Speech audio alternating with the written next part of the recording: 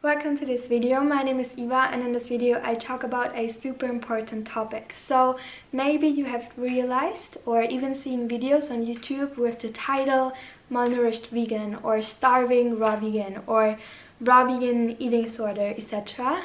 And in these types of videos you can see basically um, small videos, so small snippets of a YouTube video um, from different people and some of them they obviously have an eating disorder so they're super skinny. Others might have a mental problem so they're talking kind of nonsense and others are just normal people.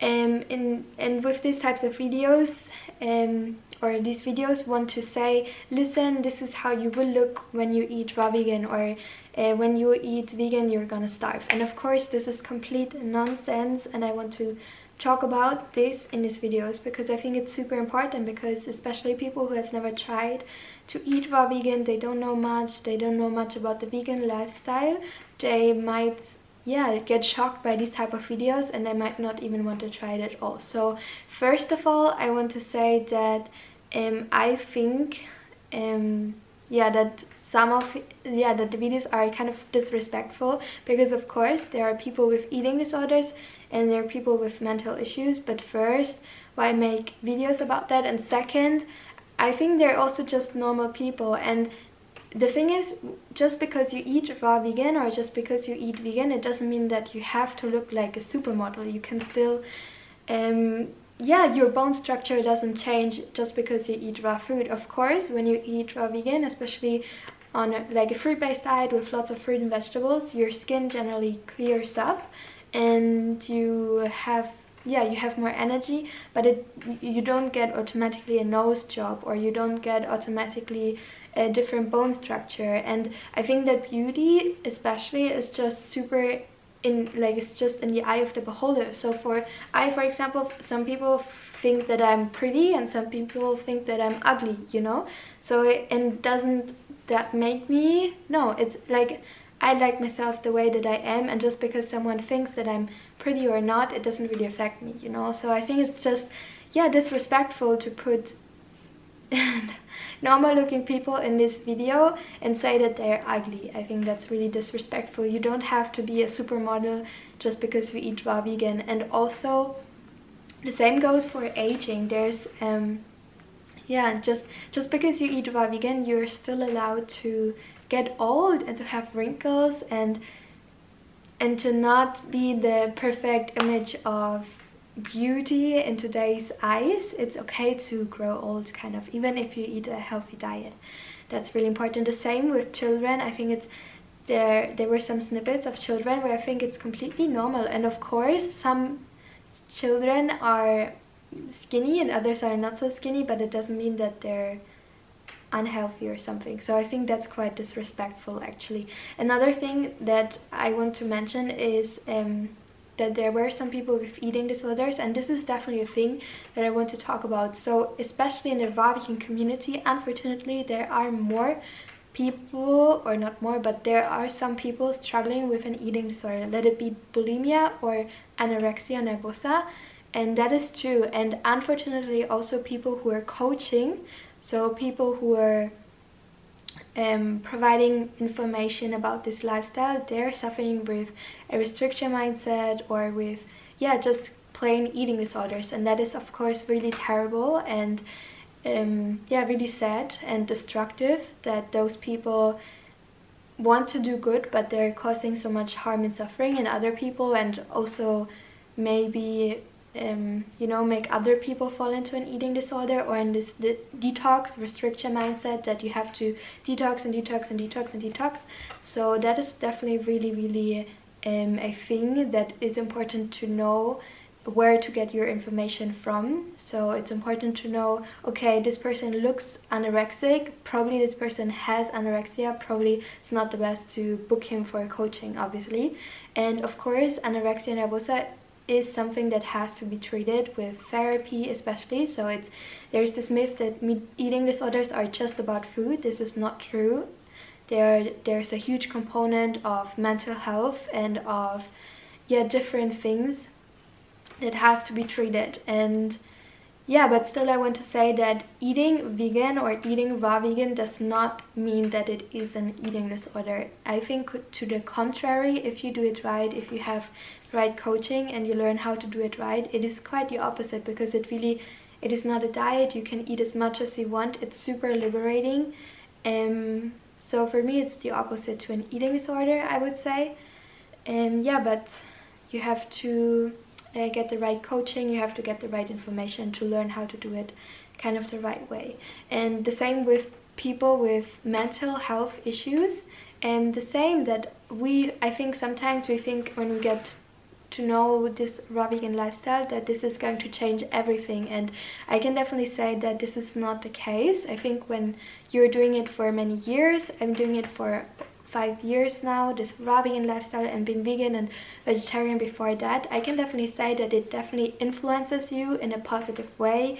You have more energy, etc. But you still have to deal with different issues with um, maybe sadness, depression, and there are different areas in your life that you have to deal with still, like romance or work, etc.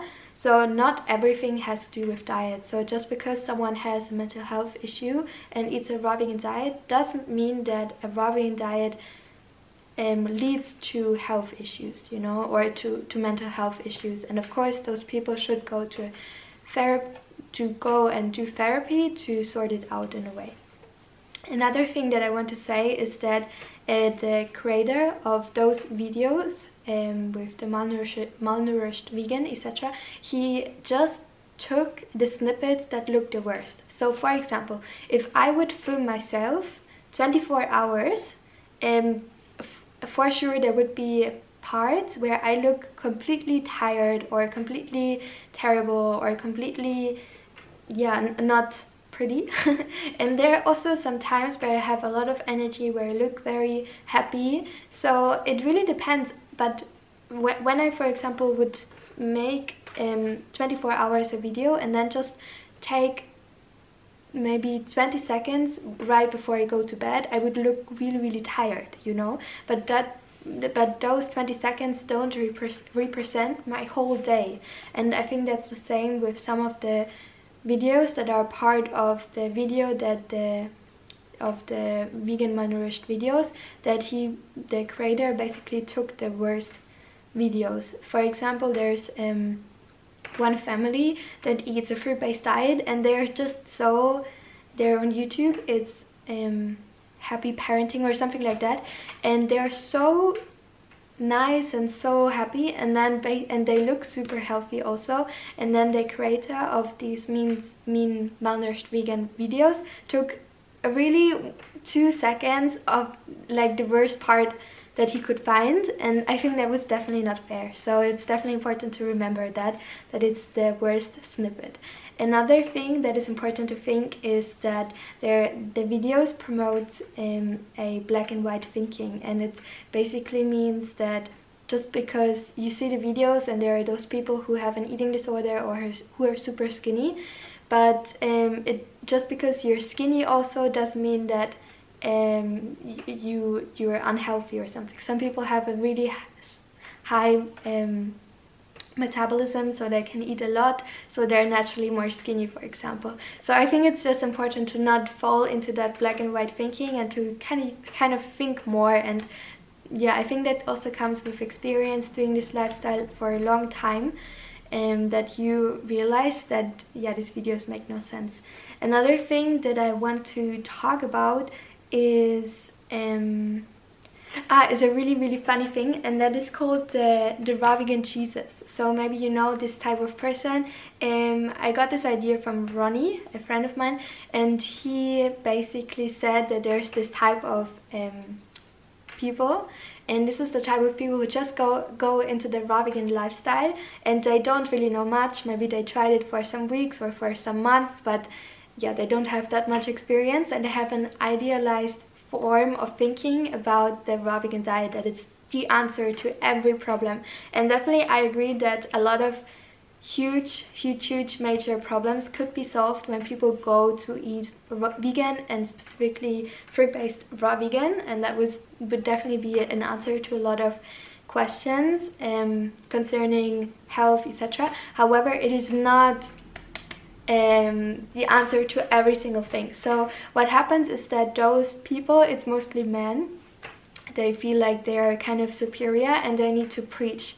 And then you can see them uh, it's very often that they're super skinny because they've done a lot of water fast or a lot of juice fast or something that they're, so they're super skinny and then they have long beards.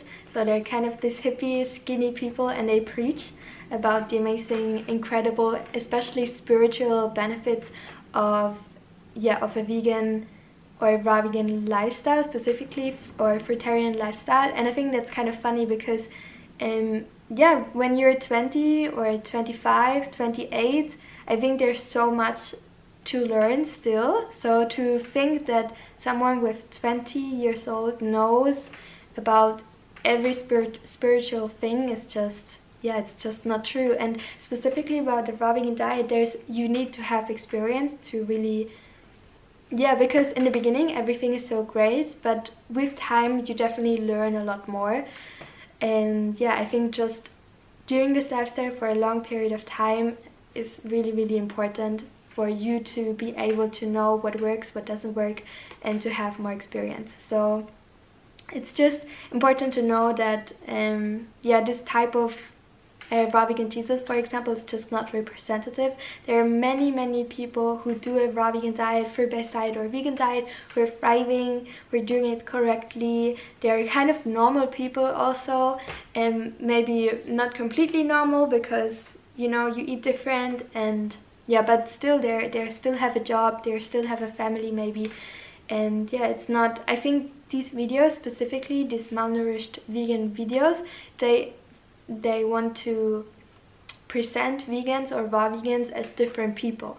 And this is not the case you know? It's just it's normal people who eat um, a healthier lifestyle who eat fruit-based or vegan. So it's not that we are this strange kind of people. We're just normal people who eat a different way.